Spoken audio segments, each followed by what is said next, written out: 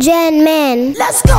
Do it for the many. Tulikupatia taarifa hapa kuhusiana na hii picha ambayo Bruce Melody kupitia kwenye ukurasa wake wa Instagram via Insta story alishare. Hao ni wasanii wote watatu, yani hapa anaonekana Harmonize, Bahati pamoja na Bruce Melody wote kwa pamoja ambao walihusu nchini Uganda last week over the weekend kumpa push msanii wa Uganda Eddy Kenzo kupitia Eddy Kenzo Festival na Bruce Melody, yani kuwakutanisha wasanii hawa ambao mwanzo kabisa kuwa na mahusiano mazuri. Namzungumzia Bahati kutokea Kenya pamoja na Harmonize kutokea nchini Tanzania, hasa msanii Bahati kuonesha kutokufurahishwa na kitendo cha msanii Harmonize kujiondoa WCB, lakini pia vijembe ambavyo alikuwa akivirusha na msanii Bahati kupitia interviews, lakini pia hata kwenye ukurasa wa Instagram kuna baadhi ya vijembe ambavyo alikuwa akivirusha kwenda kwa msanii huu. Sasa hii ni picha ambayo kwa mara ya kwanza ikiwa maonyesho ikiwa pamoja na ku, kuaminisha umma kuwa kwa sasa kila kitu kipo sawa upande wa Bahati pamoja na msanii Harmonize. Sasa kupitia kwenye ukurasa wa Instagram wa msanii Bahati, yeye pia ameamua kuishia picha hii ikimwonyesha hapo Bruce akiwa katikati yao, pembeni Bahati akiwa ameshikana mkono pamoja na Harmonize,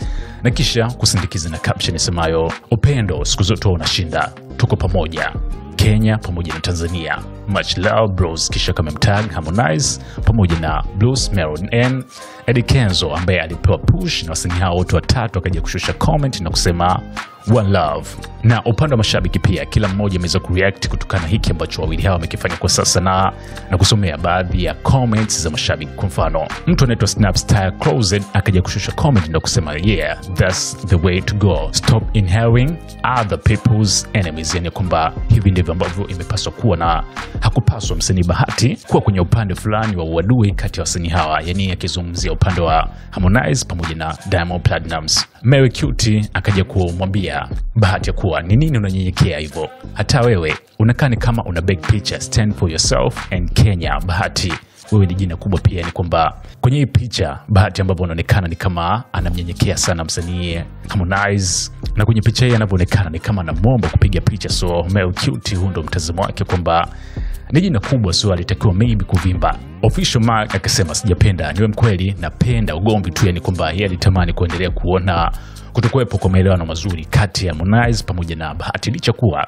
katika kipindi chote ambacho msanii Bahati alikuwa nakokea kusema, lakini Harmonize hakuwahi kumjibu kwenye interview ama kwenye mitandao ya kijamii. Bruce Rashford K akaja kusema tembo jeshi doesn't hold grudges like you, mtoto wa Diana. Ni kwamba msanii Harmonize huwa sio mtu wa kuwa na vinyongo na watu kama yeye, mtoto wa Diana, akimaanisha kwamba msanii Bahati akasinikiza na emoji za kucheka.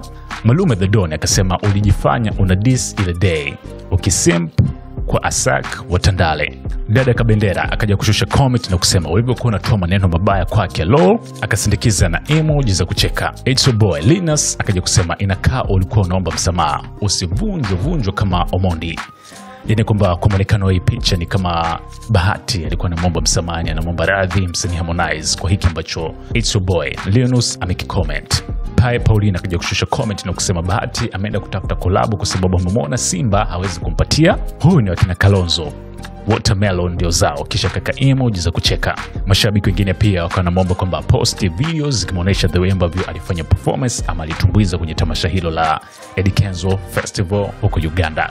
Hiki ndicho ambacho kwa sasa kinaendelea kumuhusu msanii Bahati pamoja na Harmonize, kwamba kila kitu kipo sawa na hakuna tena yale makandokando ambayo tulikuwa tukiona tangu mwanzo kati ya wasanii hawa, hasa kwa msanii Bahati ambaye alionyesha kutokufurahishwa na kitendo cha msanii Harmonize kuondoka WCB, lakini kudai ya kwamba bila Diamond Harmonize asingekuwa pale. Hii hapa ni SNS